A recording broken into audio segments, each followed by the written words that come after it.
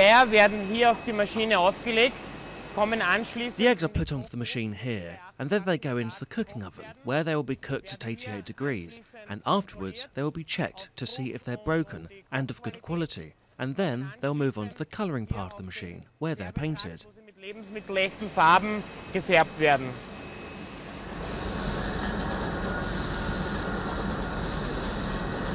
This machine